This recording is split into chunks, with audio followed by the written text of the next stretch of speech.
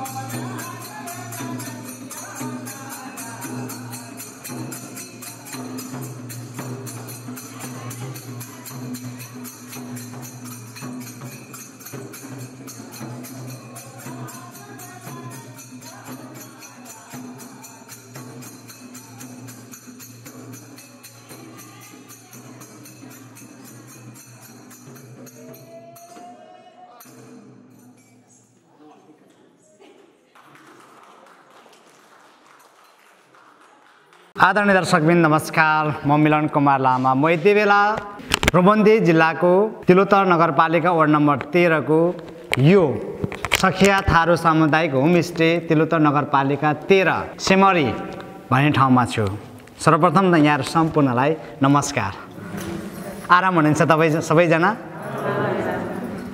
तपाईँहरूले अघि दुईवटा नाच देखाउनु भयो तपाईँहरूको नाच साह्रै मन पऱ्यो हामीलाई खुसी लाग्यो।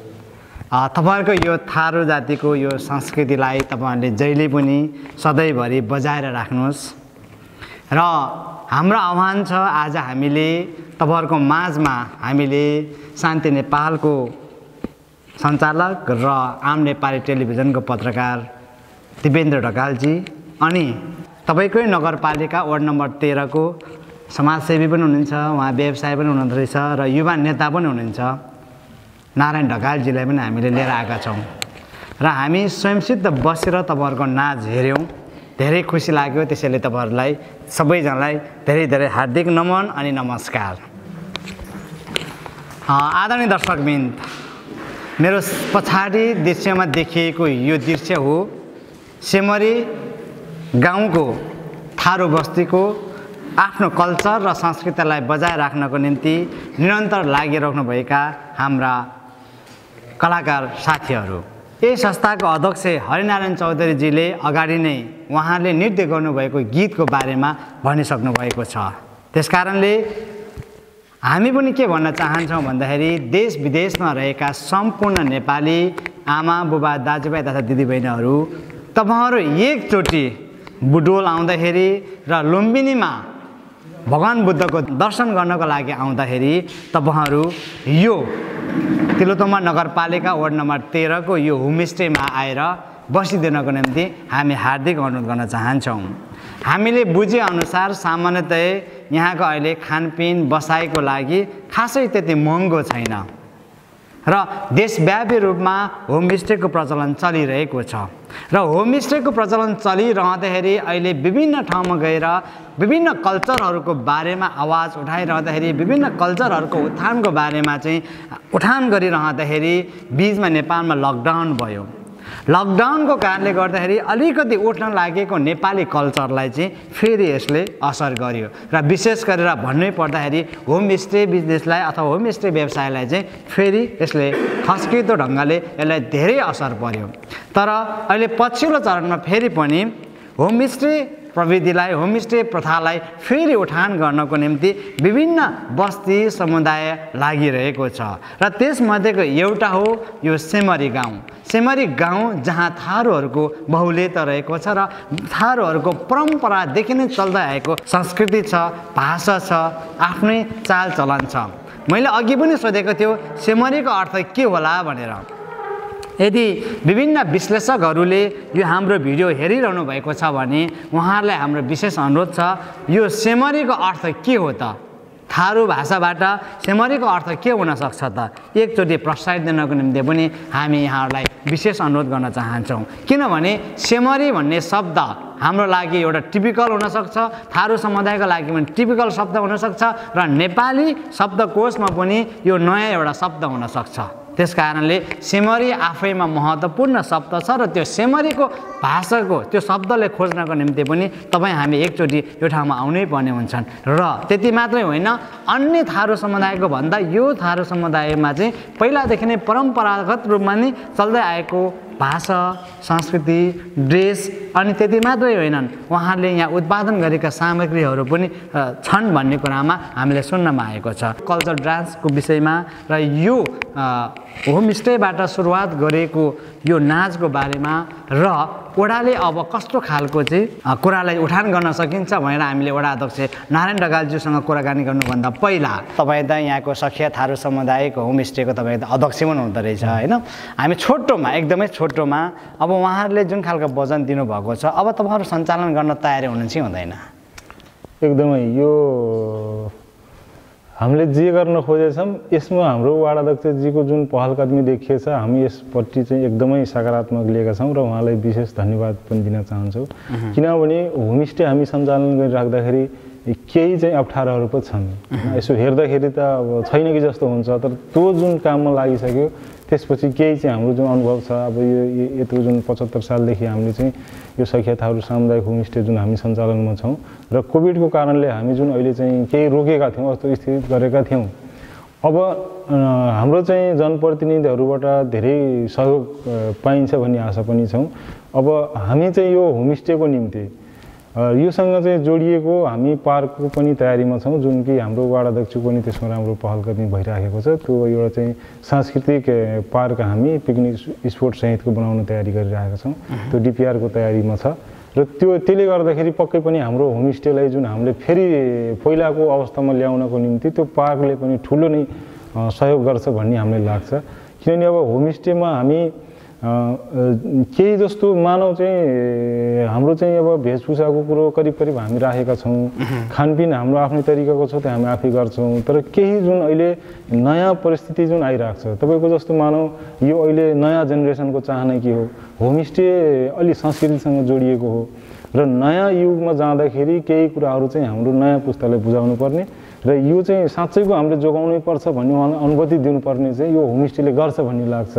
र त्यो हाम्रो संस्कृति हेर्नको निम्ति जस्तो यो देशभरि विभिन्न जात जाति भएको नाताले हामी पनि यही देशको चाहिँ थारू आदिवासी जनजाति भएको नाताले र तराईको धरतीपुत्र पनि भन्ने गरिन्छ। यसले गर्दाखेरि हाम्रो निम्ति यो जातिको निम्ति र यो क्षेत्रको निम्ति पनि यहाँको चाहिँ पर्यटकीय स्थलहरूलाई चाहिँ विकास गर्ने र यहाँको चाहिँ मूलवासीहरूलाई यो पर्यटनसँग जोडेर आम्दानीको स्रोत पनि बढाउने यो हाम्रो नगर वडा र यहाँको जनप्रतिनिधिको चाहना यसले यसले त सामान्यतया रोजगारी पनि सिर्जना गर्छ। त्यस कारणले गर्दा हामी चाहिँ होमस्टे एकदमै चलाउने तत्पर छौँ र हामी यसलाई पहिलाको अवस्थाभन्दा अझ बढी राम्रो चाहिँ लैजाने प्रयासमा छौँ।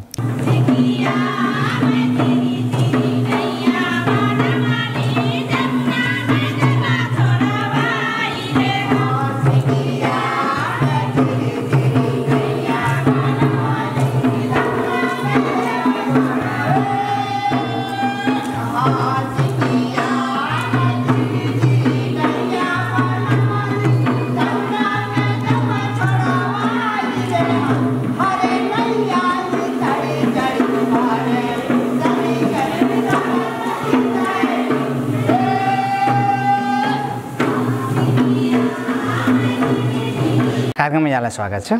हस् धन्यवाद। आज हामीले तपाईँको प्रत्यक्ष सामुमा हामीले यहाँको कल्चर डान्स पनि हेऱ्यौँ र होमस्टेको बारेमा पनि बतायो र यहाँको वस्तुस्थितिको बारेमा पनि बुझ्यौँ र अब यसलाई प्रवर्धन गर्नको निम्ति अब तपाईँको आफ्नो पहल कदमी र तपाईँले अबको आगामी दिनमा चाहिँ कसरी यसलाई चाहिँ अगाडि बढाउनुहुन्छ?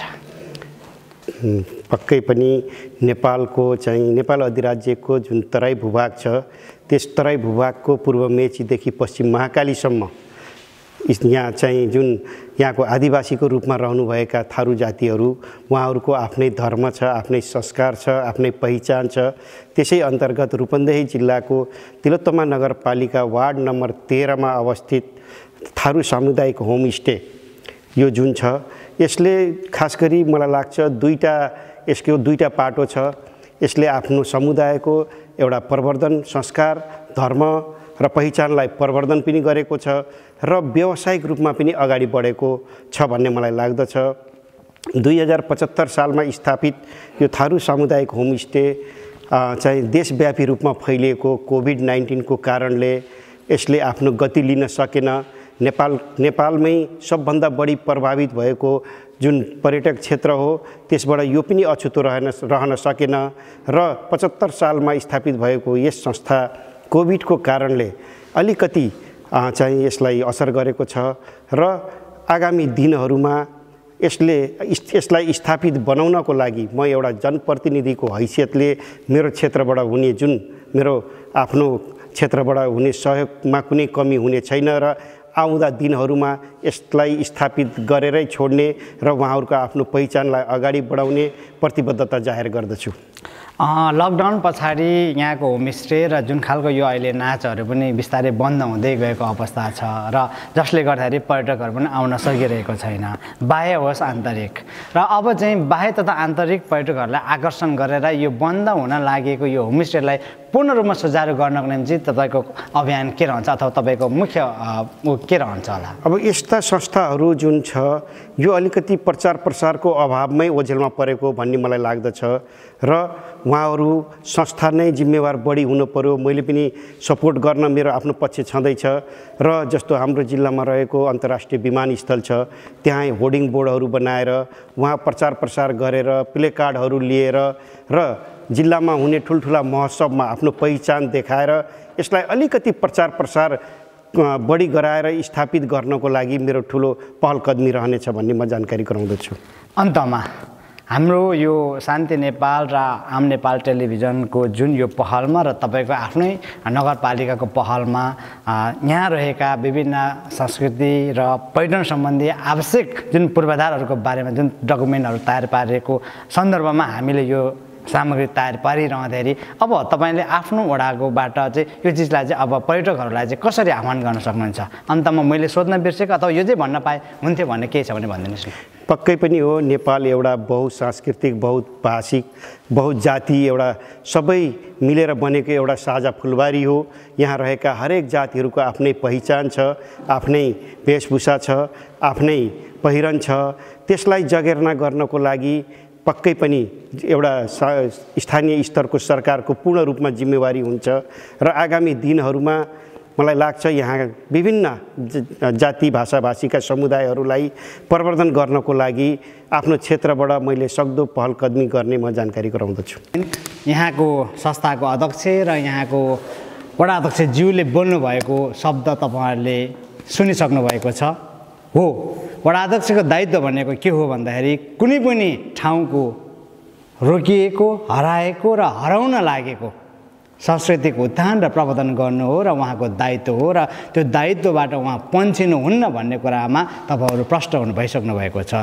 र यसरी नै यो जसरी तिलोत्तमा नगरपालिका वार्ड नम्बर तेह्रमा वडा अध्यक्षज्यूले जसरी चाहिँ मन दिएर प्रत्येक अथवा थारू समुदायको यो संस्कृतिलाई अथवा रोकिरहेको होमस्टेलाई फेरि पुनः सञ्चालन गर्नको निम्ति उहाँले जुन खालको प्रयास गर्नुभएको छ यो प्रयासलाई सफल पार्नको निम्ति देश विदेशमा रहेका सम्पूर्ण पर्यटकहरूलाई पनि एकपटक यो ठाउँमा आइदिनको निम्ति र सफल पारिदिनको निम्ति पनि विशेष अनुरोध गर्दै हाम्रा यहाँ यति धेरै राम्रो राम्रो अभिनय गर्नुहुने नृत्य गर्नुहुने हाम्रा कलाकार साथीहरूसँग पनि बिदा माग्दै तपाईँहरूको यो निरन्तरता होस् भन्दै यहाँहरूबाट पनि हामी पनि बिदा हुन चाहन्छौँ र कमेन्ट गर्न नबिर्सनु होला भन्दै म मिलन कुमार लामालाई पनि बिदा दिनु होला हस्त नमस्ते धन्यवाद।